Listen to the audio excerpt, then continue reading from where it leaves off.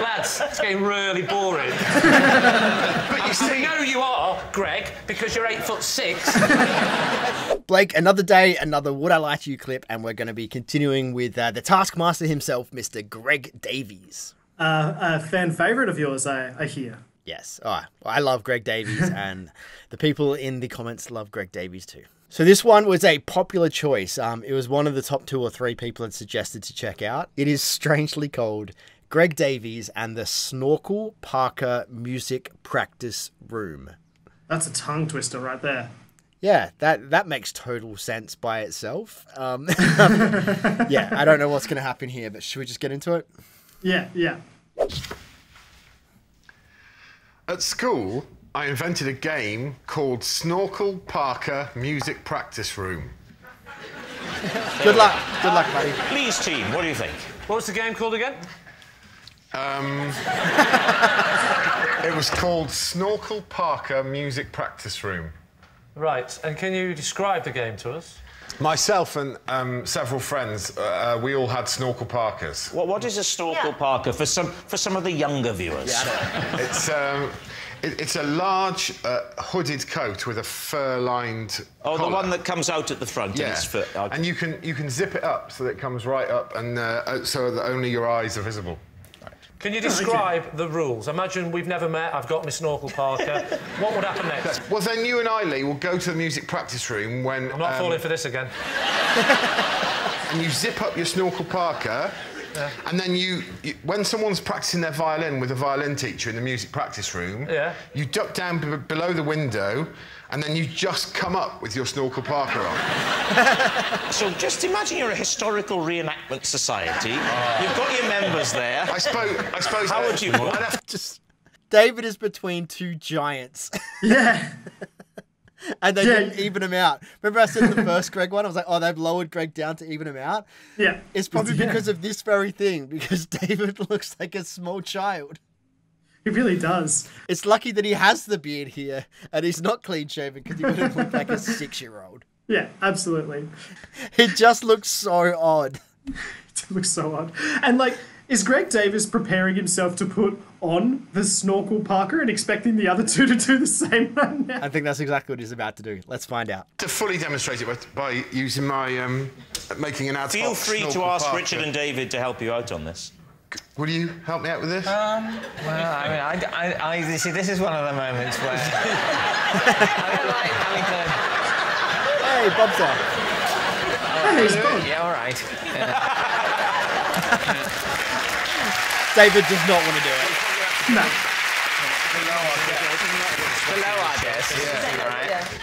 So if so, if you imagine that this was the music practice room and and there was some someone in there having a lunchtime a lunchtime violin lesson, Yeah.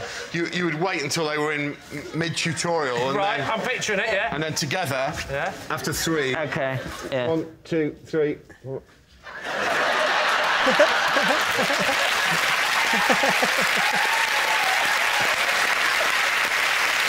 If he has just made this up, because Snorkel Parka music practice room, like it's kind of believable. The story, like it's Yeah. not, it's not that insane. Like it's just a very scary and creepy thing to do. And if someone just looked over and saw these three hooded people looking through the window, it would give them a fright. Like it would be kind of fun to play as a kid. He would have been in school when there's no such thing as mobile phones. So this is absolutely like you know when you when we were kids, we would go outside. Yes, I, I, remember those days. Yeah, Everything was in black and white. but also I, I would imagine that this is how like the school guys, the, his school friends would have just been like, oh, let's just go have some banter or have a giggle at this. This is the best thing we can come up with. Let's spend our entire lunch break hidden behind a bush in a glass window. and just and just every now and again just rise up and stare. That's it, really. Was the secret to the the fact that they never knew who you were? Because you were They, they wouldn't up? know you were because it's only your eyes showing. And he'd tell you to go away, so you would all duck down away, and then you'd leave it for a minute. And then come back And then you'd again. just come back up again. Yeah. What age were you? Maybe, Tell me you weren't one of the teachers. maybe 13, 14. right the way through to when you left. Right, right through till sixth form, yeah. I have a feeling he was probably that height at 13 or 14 as well. so I think they all would very much know like That's Greg outside the window. Yeah. You never got told to stop this, or you got. Yeah, well, they, would, they would bang on the window and be really furious For with us. five then we would, years, then we they were banging down. on the window. They never once thought to come out They and did. say, lads, it's getting really boring. But you I see, know you are, Greg, because you're eight foot six. but just out of interest, by show of hands, who would like to play Snorkel Parka Music Practice Room? I'm quite keen on the I've- game. I've already played it. I didn't really enjoy it.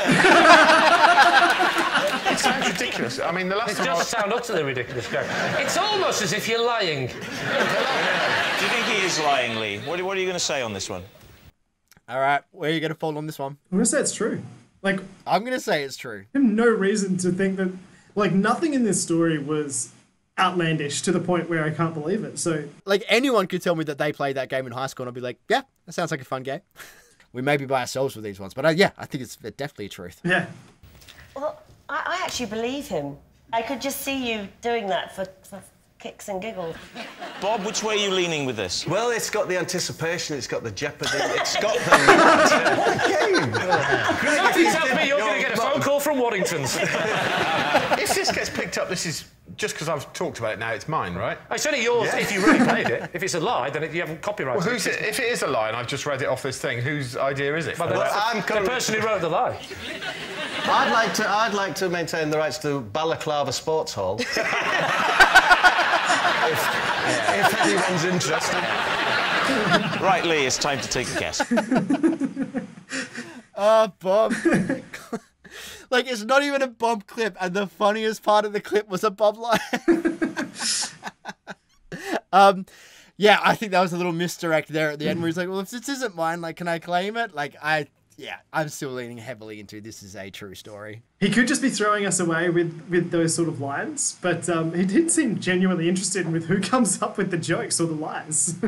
Yeah. Well, yeah, okay. You think it's genuine? I think that was I think he knows exactly what's going on and that was just a lie. That was a uh, a Claudia Winkleman Yeah. uh playing dumb to get away with something kind of lie. it, it did seem like a little bit of a lull where he's just trying to carry out that moment a few seconds longer. Yeah, just just get to that finish line. Yeah.